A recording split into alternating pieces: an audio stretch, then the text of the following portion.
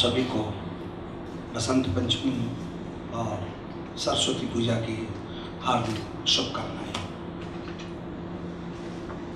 India habitat centre के सौजन्य से आज मुझे ग्वालियर घराने की जिस युवा और प्रखर गायिका मीता पंडित, जो पंडित परंपरा की युवा प्रतिनिधि भी हैं, से बात करने का जो अवसर और सुयोग मिला है उसके लिए मैं मीता पंडित को भी धन्यवाद देना चाहता हूँ और हैबिटेट सेंटर को भी, जिन्होंने कई बड़े बड़े नामों में से इस उपनाम को चुना।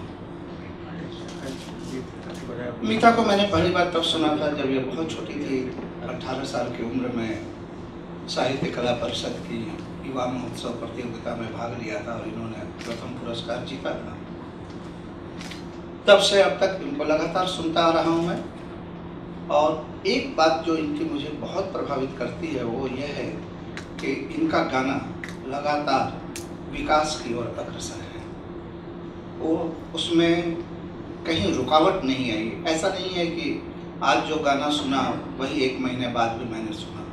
एक महीने बाद जब भी सुना तो कुछ उसमें बढ़ोतरी दिखी, कुछ प्रोग्रेस दिखा। कई बार इनका इंटरव्यू भी किया है।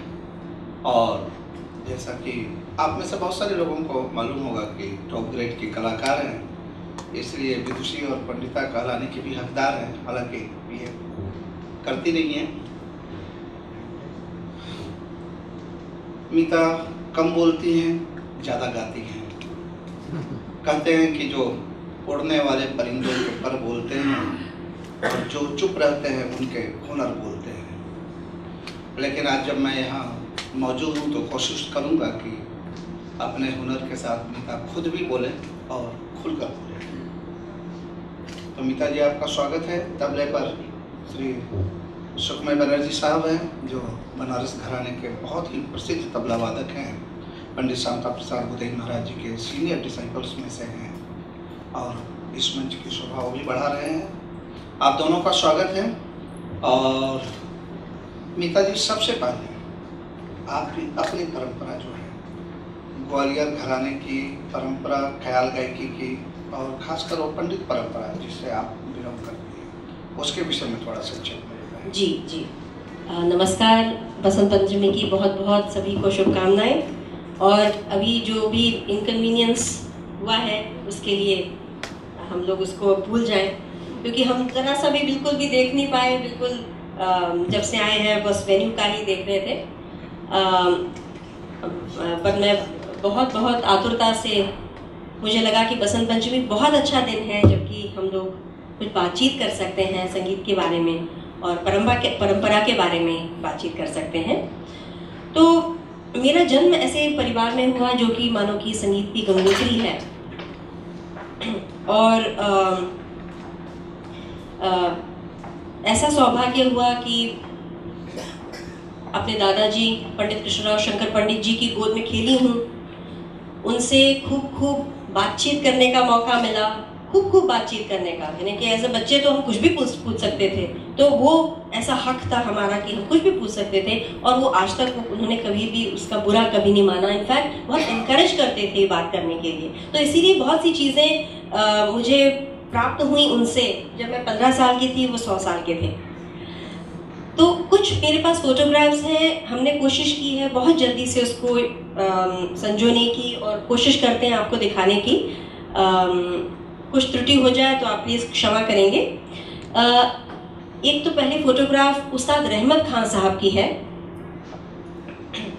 भूगंधर्व से कहते हैं। इनको कहा गया है उस्ताद रहमत खान साहब। और इनकी गायकी से अनेक घराने प्रभावित हुए हैं। और बहुत बहुत बहुत बड़े दिग्गज ग्वालियर के उस्ताद निसार हुसैन खान साहब। उस्ताद निसार हुसैन खान साहब ऐसे गवैये थे जो कि ग्वालियर के कोर्ट म्यूजिशियन थे और जब इनकी सिंधियाज ने इनको बहुत रॉयल स्टेटस से रखा था। इतना बड़ा कि आप इमेजिन कर सकते हैं कि हतू हसू खान साहब के जो घर के दरवाजे हैं, वो इतने बड़े हैं कि उसमें से हाथी गुजरते हैं। तो उनके पास सब सब सुविधाएँ मौजूद थी। उसी प्रकार से निसार हुसैन खान साहब। और जब अंग्रेज़ों ने इनकी सैलरीज पर ऑब्जेक्शन किया कि गवैयों को इतनी ज़्यादा तनख्वाह क्यों दी जाती है तो उन्होंने रिज़ाइन कर दिया कोर्ट से और अपने प्रिय शिष्य शंकर पंडित जी, यानी मेरे परदादा जी के घर, वे वहाँ गए। तो उस समय में एक मुसलमान उस्ताद का, एक ब्राह्मण परिवार में एक सदस्य की तरह, घर के सदस्य की तरह रहना, ये एक बिल्कुल ही अनसुनी बात थी। अपने आप को वे निसार भट्ट कहते थे। और हमारे घर में छः माह तक न लहसन आता है, न प्याज आता था।